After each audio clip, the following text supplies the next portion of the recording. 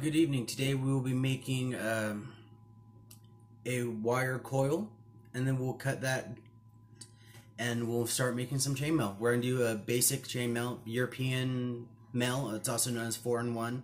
I know two other forms, and that's Lord's mail and Byzantine, but we will get to those in a later video. Let's start with basics. Alright, so what you're going to need is some 14 gauge wire. You can get this at uh, any tractor supply, uh, hardware store. It's just electrical fence wire. Um, we're using 14 gauge because it makes better armor. Anything smaller, you can risk the chance of the rings popping open. Uh, 8 inch bolt cutters. Two round nose pliers. You can use a needle nose, just saying that and a power drill of some kind. Uh, the platform you see here before you was at one point a pallet. I've taken one board off and nailed it to the sides here but and cut it in half. I used, I believe it was an inch drill bit. I, I, you know, I used bigger than what I needed so I got more room to flow. This is a 7 16 rod and that one I know for a fact because I looked over it so many times. And for the back part, your, any rod will do, just as long as the wire free spins. And I use fish eye bolts to hold it in place instead of trying to cut notches or use, what are they called? The sliding lock latch. Um, anyhow, that's not the point. So, we're to attach the drill to this rod here. And I, let me take it off real quick. See, as you can see, it's not rounded. It's triangular. And I did that on purpose so the teeth in the drill can actually bite and grab it. Alright. Now, how big the coil you want is up to you. If you want to make your uh, wire shinier, or get rid of the, um, what's it called? Galvanization, you can use Scotch-Brite. Alright, there we go. Oh, nope. On. Gotta fix this real quick.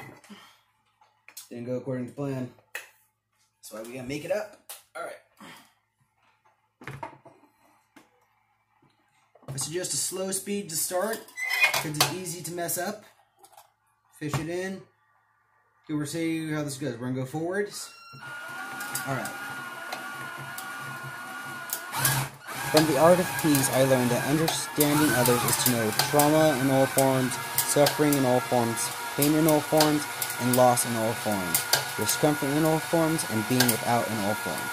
But it is also knowing relief, comfort, reward, and obtaining in all forms.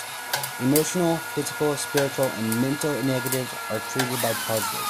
Positive is just as temporary as the negative, but harder to keep. To get positive, you have to work on and in your negative. It doesn't matter at the speed you learn, just that you learn.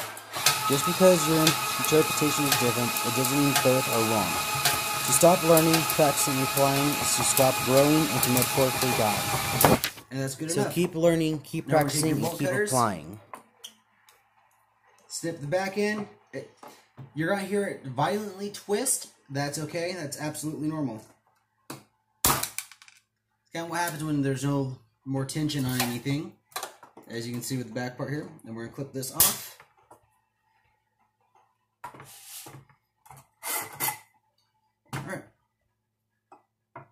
That's one coil. Alright. Let's get to the cutting part of it. Alright, taking our coil that we just made and our 8 inch bolt cutters, we're going to snip off the axis here. We don't need that. Now that we have it nice and lined up, we're just going to go down the line. On average, I can get three. Uh, sometimes, depending on how far the gap is between each ring, I can only get two. It just makes it quicker. Um, first time I did this, I would recommend leather gloves because you will get blisters. And, but if that don't bother you, then don't worry too much about it. I see I can make pretty quick work of it. I mean, I just started and we're almost halfway there. See, that's what I mean. Depending on the gap, you can only get two. So let's finish snipping that. That's a little deformed. That's okay. One, two. Nope. Only getting two. Um, if you want to see how to build the rig, um, the person who inspired me, or showed me how to do it, I should say, uh, is stormthecastle.com. On YouTube, he's known as Epic Fantasy. Uh, so if you want, you can give his channel a look. Uh, he does a lot of the things I do. Which, no, I'm not saying I'm copying him or he's copying me. It's just we share a mutual interest, and that's the best way to look at it. He likes blacksmithing. He does paper mache, uh, origami, dioramas, stop stop animation. Um, so far, I just did the blacksmithing, armor, and origami and paper mache part. I have no interest in um, doing dioramas, which that's wait no, that's a lie because I did make the lotus pond, and that is in fact a diorama. But I have not built a trebuchet. Uh, he has. Uh, he's also done an Assassin's Creed um, wrist blade. He's done quite a few things on his channel, actually. So I highly recommend you give him a look. See, two minutes and 15 seconds in, and we're already halfway there. Alright, so I'm going to finish this up, and I'll bring you back when I'm done. Alright, so I finished cutting it. What you're to do is you're to take five ringlets, your round nose pliers, and we're to close up four of them. Sometimes you just feel it grind, sometimes you'll hear it kind of pop. All depends on how you um, cut it.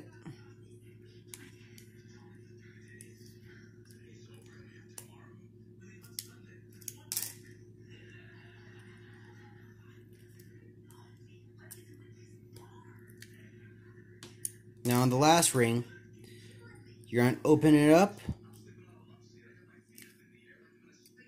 And then you're going to drop your four on.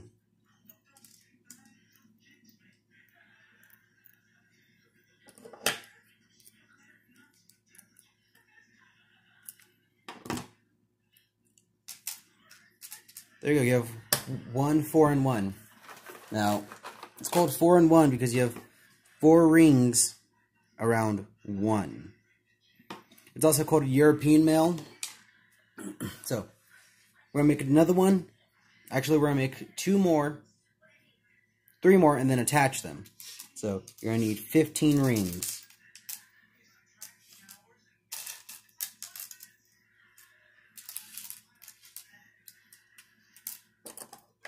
Alright, so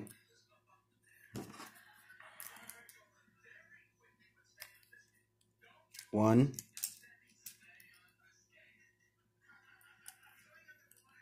Two.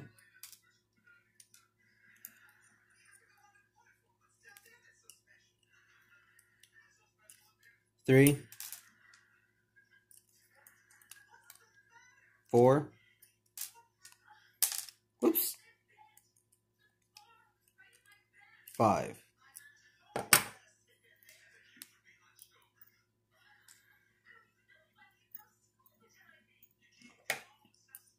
Alright, so I'm going to stop you. I'm going to put these last two together, and I'm going to show you how we attach them. Alright, so now we're going to take two rings here. We're going to open them up.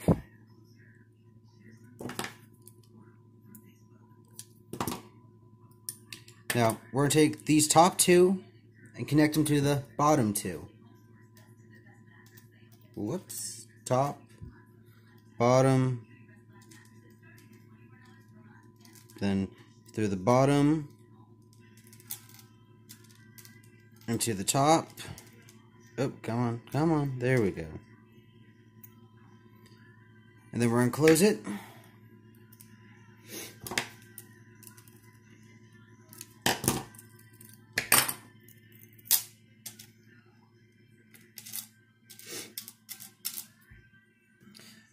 That's one.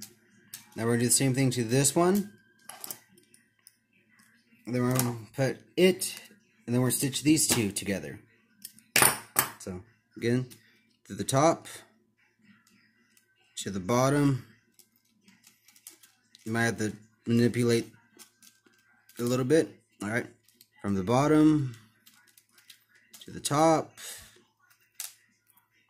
And now we close that.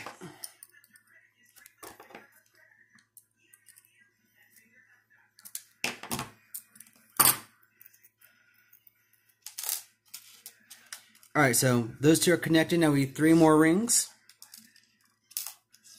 And we're going to open and close them and stitch those two together. Now this one's a little different. Well, it's not really a little different, but you're going to go in between the two rings. Like that.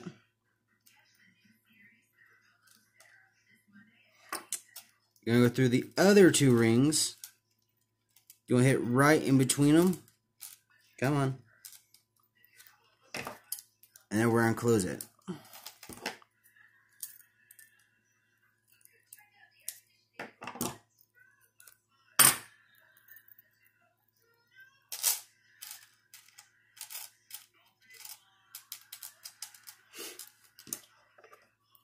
Open it again.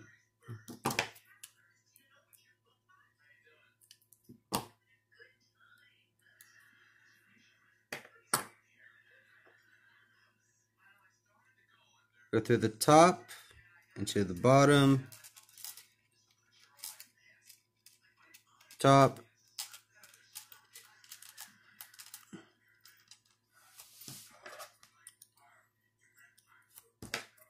close it again.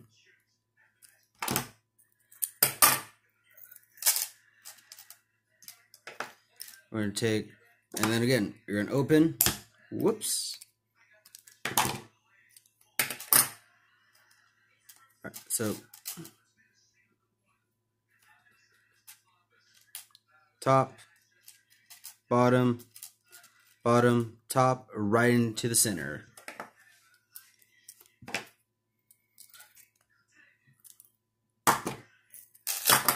There you go. That's how you stitch that together. I got two projects I've been working on. They've been taking Actually, one took a month. The other one, it's been a four-year project. I will show you those real quick. All right, this is a headpiece I did. This took me about a month to do. Uh, you can also learn how to do this from Epic Fantasy. That's where I was inspired to do it. Actually, I was inspired by Viking armor. I just didn't know how to do it, and I was already subscribed to Epic Fantasy when he showed well, showed how to do this piece. Alright. And then the other one I've been working on for four years. I'll grab that too. Alright, so this is a chainmail shirt. It's almost complete. Just gotta finish up the back and do the sides. This has taken me four years. Uh, according to a couple people within the community, it takes them, if you dedicate your time to it, three months. But with me, it's more of the motivation factor. If I'm not very motivated, I just kind of put it off. And I'm really close. But uh, I believe a full shirt of mail is anywhere between 20 to 30 pounds. So, and this is all that European four in one stitched together and made out like that. Alright. Well, thank you, and we will see you next time.